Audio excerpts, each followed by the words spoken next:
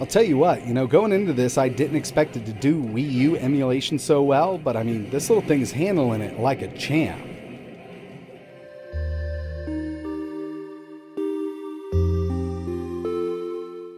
What's going on everybody, it's ETA Prime back here again. Today we're going to be putting together a surprisingly powerful, low-cost, small form factor emulation machine that really puts out some good performance. I was very surprised to see what this thing can actually do. And when using a PC like we have here, you can actually get out pretty cheap. Now obviously we've got a small form factor unit and I wanted to keep it as small as possible, so I went with an HP Elite Desk 705 G4. Now, a lot of the time, when you take a look at these smaller form factor PCs, they're going to be powered by older 4th gen up to the 7th gen Intel CPUs, but this one just happens to have an AMD Ryzen 2400 GE. Now, we don't have as much power as the regular old 2400, but like I mentioned, the emulation performance that this thing can put out using Linux is actually really surprising. So the price on these are around $150. Sometimes you can look out and find them for around $129 if somebody's got a big lot of them that they're trying to get rid of on eBay. And let's just say you didn't want to go with an HP variant. You can also opt to pick up one of the Lenovo variants with the same exact chip. You're going to get that same kind of performance. Now, when it comes to RAM, all you're going to need is 8 gigs here because we're going to be using a Linux-based operating system known as Batocera. So it's basically just a standalone emulation operating system. It uses RetroArch cores for the lower-end systems and standalone emulators for the higher-end stuff like Wii U, PS2, GameCube, Wii, 3DS, and even PS3.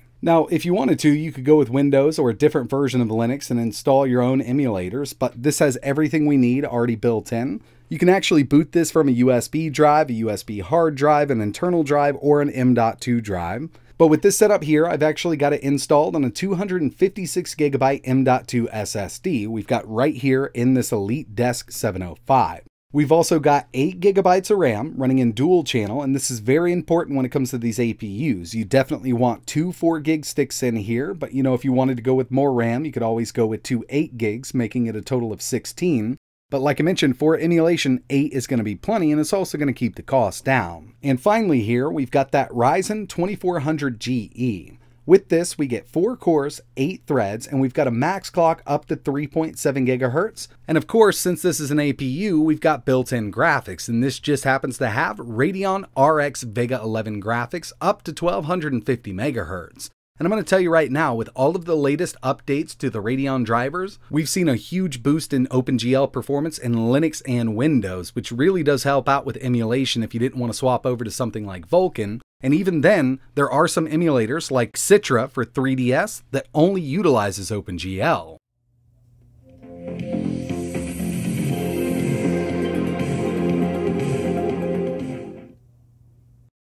Alright, so here we are. I've got an Xbox controller connected over Bluetooth to this mini PC, so I've got a wireless controller here. Now, if your little PC didn't come with Bluetooth or Wi-Fi, you can always get an adapter. But overall, this operating system works great on this mini PC. I mean, it's very snappy. And with Batocera, we do have several different themes that we can download and install. So if you don't like the look of the stock theme, you can always go with something else.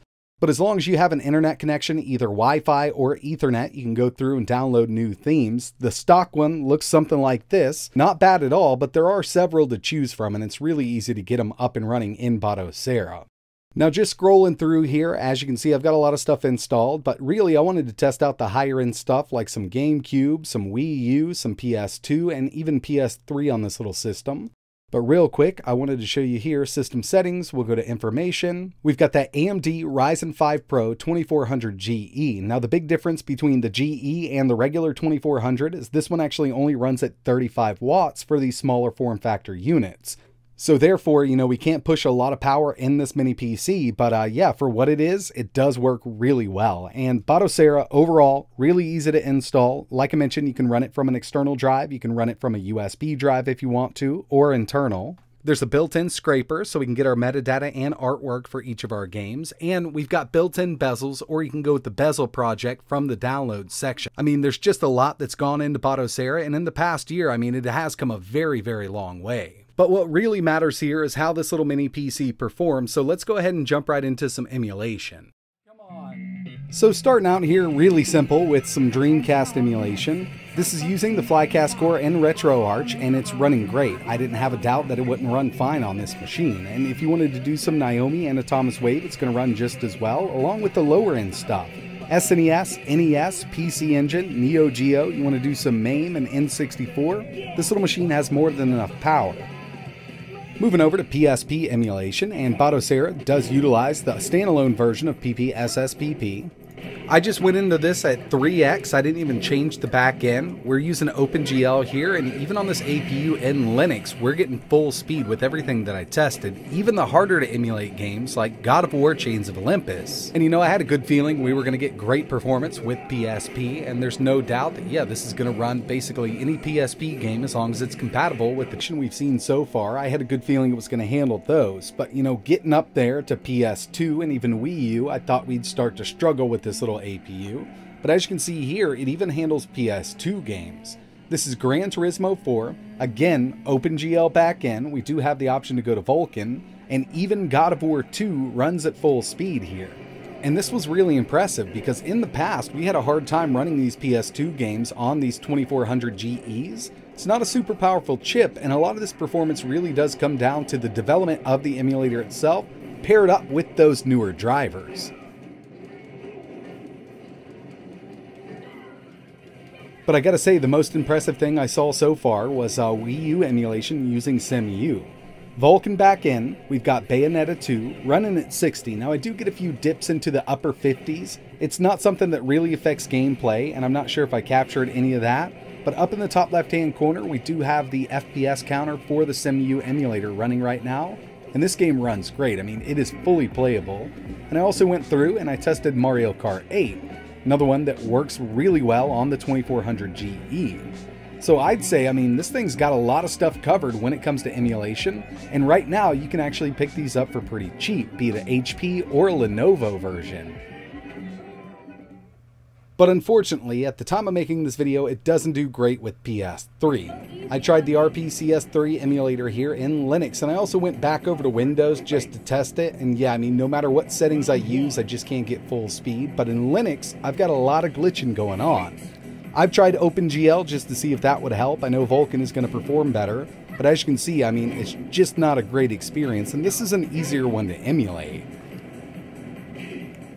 So overall, I think this mini PC performs absolutely amazing as a small form factor emulation machine, especially given the price. Now, you can actually find these a bit cheaper. It really depends on who's got a lot of them set up on eBay right now. 150 is usually the going price, but I have seen these as low as 135. And again, if you didn't want to run Batocera, we have several different operating systems that can run on this. I mean, it's an x86 platform, so if you wanted to go with something like Manjaro Linux and install your own emulators, you could do that, or even Windows 11. It's really up to you.